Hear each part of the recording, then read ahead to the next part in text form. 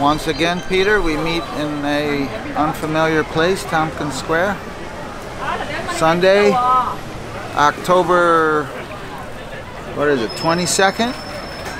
And I'm still selling summer stuff. The summer that never wants to end.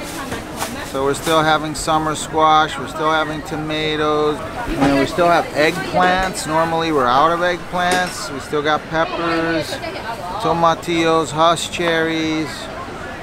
You know, it's, it's the abundance is still there. But that's definitely beginning to wane. Our quantities are dropping. There's nothing is actually ripening much anymore because it's just too cool and the days are really short. So enjoy the squash probably for another, the summer squash for another week, maybe two if we get real lucky. Uh, peppers, uh, peppers probably another two weeks, maybe three. Eggplants a week or two.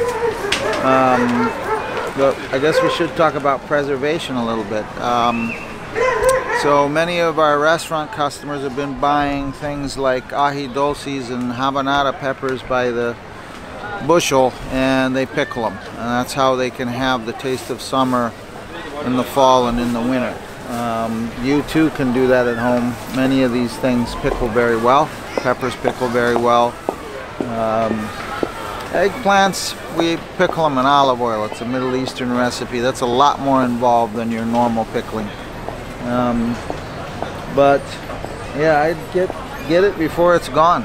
Because literally a week or two and maybe three if we're lucky.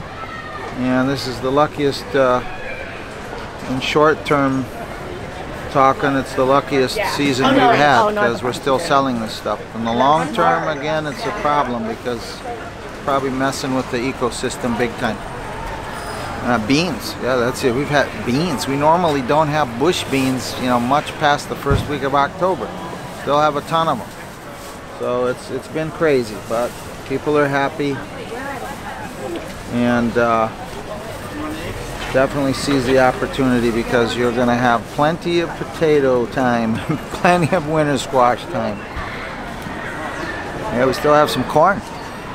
Not a lot, but we still have some corn. All right. Really now your other question was something to the effect, what the heck landed me in Norwich? Yes. Well, that was a, so I was over at Kansas State University working on a PhD and for various reasons it didn't work out so I needed a regular job so I applied to a bunch of different universities including Cornell and uh, they were the first one to give me a job. I was basically looking to move east because at the time my sister lived in New Jersey and I wanted to be closer to family. So that's basically what brought me out to Norwich, a job with Cornell. That was it? That's it. What, did you want some elaborate? No, that's it. What, what led you to farming?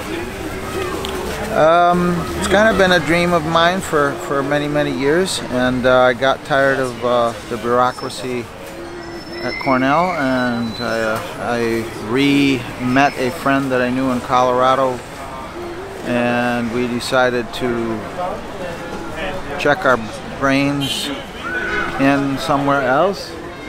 And you know, and we just jumped into farming, and that was about 20 years ago. So before that, inklings of farming, like the places you've worked around the country. So, so in my life prior to Cornell, which Cornell I was working for, with farms for six years, and then prior to Can Kansas, I was working on a degree in agricultural economics. Prior to that, I was in South Dakota working for what is now known as the FSA. Back then, it was known as Farmers Home Administration. So back there, I also worked with farmers in various capacities. And prior to that, I was in Wyoming getting a degree in agriculture. So that's all I know, Peter. I'm a one-track mind kind of a guy, agriculture. You ever think it would end up like this? Nope. Nope. Nope. I mean, you know, it, it was. I definitely planned on having a vegetable farm. That was part of what I wanted to do. But this, no. This, this was. This is kind of a uh, a hobby gone crazy real crazy. But hey, Somebody's got to do it. We are here for at Tompkins Square until December 15th at Union Square year round. And Wednesday, Union Square from about mid-January to mid-late March. Okay.